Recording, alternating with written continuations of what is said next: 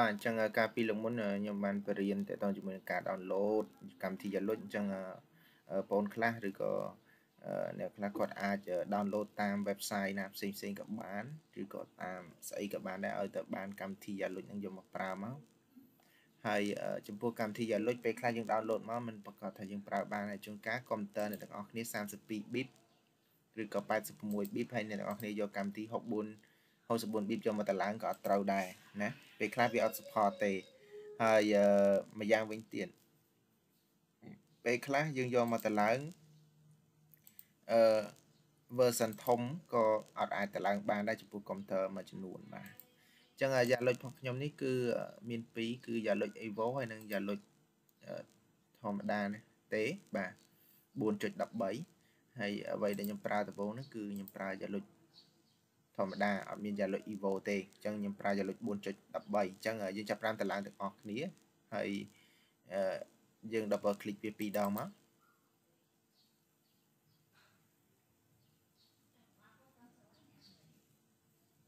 បាទអញ្ចឹងយើងយកពាក្យ next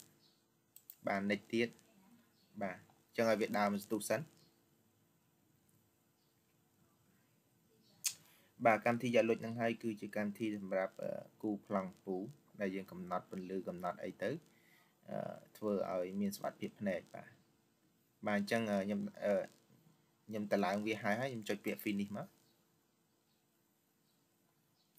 បាទចុច finish គឺវាលុបទាំងនេះមកទៀតអញ្ចឹងចុចពាក្យ next ហើយយកពាក្យ agree បាទហើយចុចពាក្យ next ទៀតហើយចុច next ទៀតមក next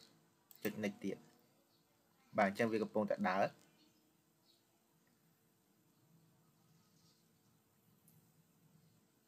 បាទដូចខ្ញុំបានបញ្ជាក់យ៉ាងថាយ៉ាលុចរបស់យើងគឺខ្ញុំ download នេះគឺ version ចុងក្រោយគឺ4.13អ្នកខ្លះ download 4.6 4.9អីចឹងណាបាទអញ្ចឹងបើសិនជាអ្នកទាំងអស់គ្នា download ទៅវា error 4.6 4.9អ្នកទាំងអស់គ្នា download អា4.13តាមខ្ញុំមកហើយកុំព្យូទ័ររបស់ខ្ញុំនេះគឺ64 bit ណា64 bit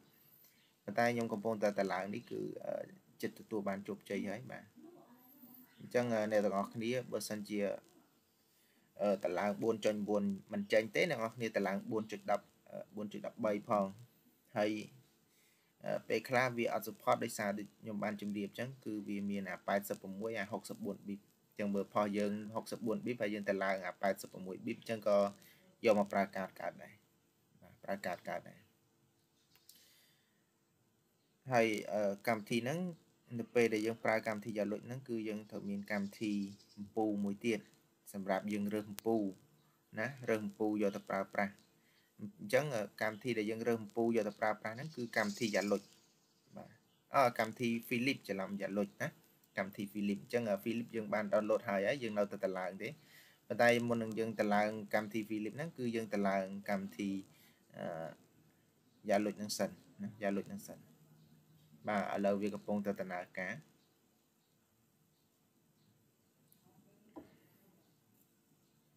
បាទអញ្ចឹងយើងរងចាំបន្តិចតិចទៀតទៅវាហើយបាទវារៀងរអាក់រអួលខ្លះដោយសារតែបញ្ហាសេវាអ៊ីនធឺណិតណាអ្នកនរគ្នាបាទអញ្ចឹងអ្នកនរគ្នាបានឃើញហើយគឺយើងរួចរាល់ហើយវាលោតចេញពាក្យ finish អញ្ចឹងយើងចុចពាក្យ finish មកបាទ អញ្ចឹងអានេះយើងអត់ចាំបាច់ប្រើប្រាស់ទេអានេះគ្រាន់តែជាកម្មវិធីនៅក្នុងហ្នឹងទេគឺកម្មវិធីដូចជាកម្មវិធីស្លាប់មេរោគអីហ្នឹងណាបាទអញ្ចឹងយើងបានតម្លើងកម្មវិធីយ៉ាលុចមួយហើយយើងចាប់បានតម្លើងកម្មវិធី Philip កម្មវិធី Philip ដោយសារវាមាន WinRAR នៅក្នុងនេះអញ្ចឹងយើង extract file វាចេញមកសិនបាទយើង extract file វាចេញមកសិនខ្ញុំយក extract here ចេះហ្មងបាទ extract here គឺវា extract ចេញមកនឹងហ្មងបាទបាទអញ្ចឹងយើងវា load វា load ពាក្យមួយគឺ database ហើយនឹង load ចេញផ្ទាំងមកច្រើនបាទផ្ទាំងមកច្រើនទាំងអស់ហ្នឹងគឺយើងយកតែពាក្យមួយឯងក្នុងកម្មវិធី Philip ហ្នឹងគឺយើងយកពាក្យ set up បាទយើង double click មកយកពាក្យ set up មកបាទអញ្ចឹងអ្នកនរគ្នាយកពាក្យ set up មកគឺវា run វា run ទៅម្ដងបាទវា run ចូលនៅក្នុងកម្មវិធីយ៉ាលុចតែម្ដងបាទអញ្ចឹងយកពាក្យ next យកពាក្យ accept យកពាក្យ next next ទៀតយកពាក្យ next មក បាទនិចទៀតបាទបាទអញ្ចឹងគឺវាចាប់ផ្ដើមដំណើរការហើយ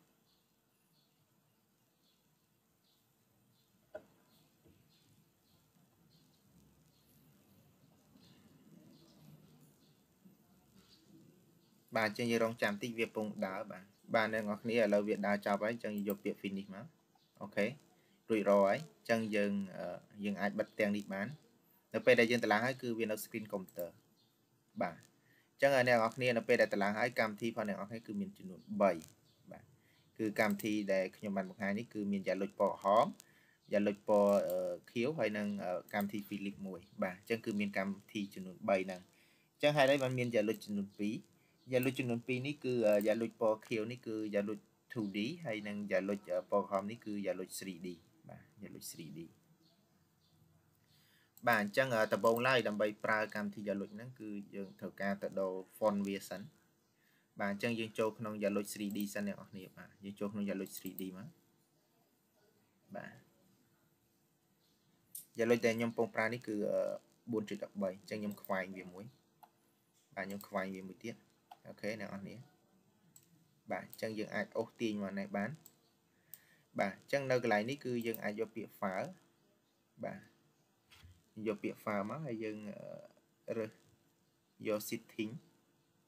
setting ហើយយើងយកពាក្យ general option បាទដើម្បីសេរីຂະຫນាតຂະຫນាតរបស់យើងហ្នឹងព្រោះបើសិនយើងអត់សេរីទេຂະຫນាតផលបន្ទប់គឺ in គឺយើងវាស់ទៅគឺជា in តែជាធម្មតាយើងនៅស្រុកខ្មែររបស់យើងគឺយើងវាស់ຂະຫນាតបន្ទប់អីហ្នឹងគឺម៉ែត្ររបស់យើងគឺຂະຫນាតវាមានមីលីម៉ែត្រសង់ទីម៉ែត្រអញ្ចឹងអ្នកនរគ្នាបាទបាទនៅក្នុងនេះຂະຫນាតរបស់វាគិតជា feet ទៀតណាបាទមិន in នេះគឺ feet អញ្ ចឹងដើម្បីដូរអ្នកនរគ្នាឆែកមើលសិនបាទកន្លែងនេះកន្លែង standard value នេះយើងអត់មានអីសេរីទេបាទយើងមានសេរីទេតែកន្លែង global នេះយើង select យកពាក្យ room បាទយកពាក្យ room ហើយកន្លែងនេះយើង change វាដូរវាទៅជាຂະຫນាតម៉ែត្រសង់ទីម៉ែត្រអីចឹងវិញទៅយើងអត់យកពាក្យ feet ទេព្រោះយើងអត់មានຂະຫນាតម៉ែត្រ feet អីយកមកវាស់ទេនៅស្រុកខ្មែររបស់យើងបាទចឹងនេះចឹងដែរយើងដូរវាទៅម៉ែត្រការ៉េចឹងមកបាទមានម៉ែត្រការ៉េមាន សង់ទីម៉ែត្រចឹងមកបាទអូខេចឹងហើយផ្ទាំងរបស់យើងគឺយើងមានពណ៌បាទអ្នកនរគ្នាចង់បានពណ៌សឬក៏ពណ៌អីក៏បានដែរសាច់ចិត្តបាទអ្នកនរគ្នាចង់បាន 2D របស់យើងពណ៌រៀងអីគេបាទ window ផុស 2D របស់យើងយើងចង់បានពណ៌ហ្នឹងក៏បានណាឬក៏អ្នកនរគ្នានេះចង់បានពណ៌ខ្មៅក៏បានក៏សាច់ចិត្តអញ្ចឹងអ្នកនរគ្នាចង់បានពណ៌ណាក៏បានដែរសាច់ចិត្តណាអញ្ចឹងឧបមាថាអ្នកនរគ្នាចង់បានពណ៌រៀងខៀវហ្នឹងអញ្ចឹងយកពណ៌រៀងខៀវហ្នឹងមកអូខេហ្នឹងហើយហើយ 3D របស់យើងចង់បានអីគេរៀងប្រផេះក៏បានសចិត្តបាទហើយអានេះចង់បានប្រផេះដែរក៏បានហើយ 3D នេះយើងអត់ចង់បានពណ៌ខ្មៅយករៀងប្រផេះអញ្ចឹងក៏បានសចិត្តអូខេអត់មានទៀតទេហ្នឹងហើយអញ្ចឹងយើងមើលកន្លែង output output នេះក៏យើងអត់តន់មានអី សេរីដែរអត់បញ្ហាទេ context នេះក៏មិនចាំបាច់តន់ប៉ះពាល់ទេបាទអញ្ចឹង window អូខេហ្នឹងហើយអត់មានអីទេអឺ room light បាទ room light នេះក៏យើងអត់មានអីស្រីដែរនៅពេលដែលយើងធ្វើហើយគឺយើងយើងមានពាក្យ OK មួយនេះខ្ញុំអូសឡើងលើយើងចុចពាក្យ OK មកអូខេនៅពេលដែលយើងហើយយើងបិទបាទយើងបិទយ៉ាលុច 3D ចោលបាទ ចឹងថ្ងៃនេះខ្ញុំនឹងធ្វើប័ណ្ណបង្ហាញតកតងជាមួយនឹងយ៉ាលុច 2D ជូនអ្នកទាំងអស់គ្នាមើលសិនហើយយ៉ាលុច 3D នេះខ្ញុំនឹងបង្ហាញនៅវគ្គក្រោយបន្តទៀតណាអញ្ចឹងយើងរៀនពីមួយ step ទៅមួយ step បាទអញ្ចឹងយើងមើលទៅលើ Yellow 2D ខ្ញុំចុច double click ពីរដងខ្ញុំយកពាក្យ next បាទអញ្ចឹងកន្លែងនេះអ្នកទាំងអស់គ្នាអាចធ្វើ project អីគេនៅក្នុងនៅក្នុង project ផងអ្នកនរគ្នា project ទីប៉ុន្មានអញ្ចឹងអ្នកនរគ្នាចង់ដាក់ project ទីប្រហែលសាច់ចិត្តខ្ញុំដាក់ project ទី1អញ្ចឹងទៅបាទ01បាទហើយ room ដែលខ្ញុំកំពុងគូនេះ room ទី1ទៅហើយបញ្ចេញអ្នកនរគ្នាចង់ពីពណ៌នេះពីអីបាទអ្នកនរគ្នាអាចទៅសេអក្សរខ្មែរក៏បានអ្នកនរគ្នាអាចទៅសេថាបន្ទប់ living room អញ្ចឹងទៅបាទបាទយើងអាចទៅសេថា room 1នេះបាទ living room គឺបន្ទប់ទទួលភ្ញៀវឬក៏អ្នកទាំងអស់គ្នាចង់និយាយថា bedroom ក៏បានសាច់ចិត្តអ្នកទាំងអស់គ្នា design ណាបាទហើយ partner contact អញ្ចឹងអ្នកទាំងអស់គ្នាដៃគូដែលអ្នកទាំងអស់គ្នាតំណែងតំណងហ្នឹងគឺមាន mail ឬក៏ Telegram អីអ្នកទាំងអស់គ្នាដាក់មកដូចជា099ការ៉េ9អីចឹងទៅហើយ12អីចឹងទៅខ្ញុំឧទាហរណ៍ណាបាទហើយអឺ number មានន័យថាលេខរៀងទីម៉ានអតិជនរបស់យើងហ្នឹងបាទអញ្ចឹងយើងអាចដាក់ទៅលេខរៀង01ហើយ company អ្នកនរគ្នាហ្នឹងឬក៏ company របស់គាត់នឹងឈ្មោះអីឧទាហរណ៍ថា A BC អញ្ចឹងទៅបាទហើយ customer number នេះលេខប្រមាណអតិជនទីប្រមាណអញ្ចឹងអ្នកនរនេះអាចដាក់ទៅ01អញ្ចឹងទៅបាទហើយ contact contact នេះមកអីគេ contact នេះគឺ contact មកអ្នកនរគ្នាហ្នឹងអ្នកនរគ្នាឈ្មោះអីណា អ្នកនរគ្នាឈ្មោះអីឧទាហរណ៍ថាឈ្មោះ Honda អញ្ចឹងណាបាទហើយអឺអ្នកនរគ្នាមានលេខទូរស័ព្ទបាទឧទាហរណ៍ថា012បាទអញ្ចឹង012ការ៉េ2ហើយ12អញ្ចឹងទៅខ្ញុំឧទាហរណ៍ណាហើយលេខ fax នេះស្អីគេអ្នកនរគ្នាមានដាក់មកហើយ email អ្នកនរគ្នាដាក់មកឧទាហរណ៍ថា email abc បាទ .gmail អញ្ចឹងមកបាទ .com អីចឹងមកបាទអញ្ចឹងអ្នកនរគ្នា បំពេញវាមកហើយ company របស់អ្នកនរគ្នាឈ្មោះអីគេ ABC អីចឹងទៅហើយ address អ្នកនរគ្នានៅណាភ្នំពេញហើយបើមាន logo អ្នកនរគ្នា select logo ចឹងមកខ្ញុំឧទាហរណ៍ថាមាន logo នៅណាអ្នកនរគ្នា select រូបភាពមកតោះណាតែខ្ញុំអត់មានចឹងខ្ញុំអត់ដាក់ទេចឹងខ្ញុំទុកប៉ុណ្្នឹងទៅហើយចុចពាក្យ next បាទអញ្ចឹងនៅកលៈនេះគឺអ្នកនរគ្នាមើលបានបន្ទប់ផលអ្នកទាំងអស់គ្នាហ្នឹងអ្នកនរគ្នាអាចទៅវាស់មើលបាន ថាតើបន្ទប់អ្នកនរគ្នាហ្នឹងអឺ បដោយប្រមាណខ្ញុំឧទាហរណ៍ថាបដោយខ្ញុំហ្នឹងគឺ10ម៉ែត្របន្ទប់គេងរបស់ខ្ញុំហ្នឹងបដោយ10ម៉ែត្រហើយតតឹងរបស់ខ្ញុំនេះគឺមានចំនួន6ម៉ែត្រហើយកម្ពស់របស់វាហ្នឹងគឺកម្ពស់គឺ4ម៉ែត្រខ្ញុំប្រមាណចឹង4 4ម៉ែត្រតែបើយើងគិតត្រឹមពីដានតែ3ម៉ែត្រចឹងទៅបាទត្រឹមពីដាន3ម៉ែត្របាទអញ្ចឹងកន្លែងហ្នឹងអ្នកនរគ្នាស្ដាប់ចឹងមក ហើយកន្លែងនេះគឺអ្នកទាំងអស់គ្នាឃើញហើយកន្លែងនេះគេនិយាយថាភាពច្បាស់ទៅ selling គឺពីដានហ្នឹងបាទគឺភាពច្បាស់80%ហើយមកជាងជាងយើងដេកហ្នឹង4ជ្រុងរបស់យើងគឺអឺ20 50%ហើយនឹង ground កន្លែងផ្លូវដើរផ្លូវដើរមានថានៅខាងក្រោមគឺ20%អញ្ចឹងអ្នកនរគ្នាចង់ឲ្យរៀងច្បាស់ទីអ្នកនរគ្នាសេរីវាយក30%បាទប៉ុណ្ណឹងហើយ អឺអ្នកទាំងអស់គ្នាអាចចុចពាក្យ Nixon ក៏បានឬក៏អ្នកនរគ្នាអាចរើសប្រភេទពូបាទអញ្ចឹងប្រភេទពូអ្នកនរគ្នាអាចរើសយកពាក្យ catalog នេះយ៉ាលុយ catalog នេះហើយយកពាក្យ Philip ពូ Philip នេះគឺជាពូដែលខ្ញុំបានរ៉ាន់ចូលនៅក្នុងកម្មវិធីយ៉ាលុយមិញហ្នឹងប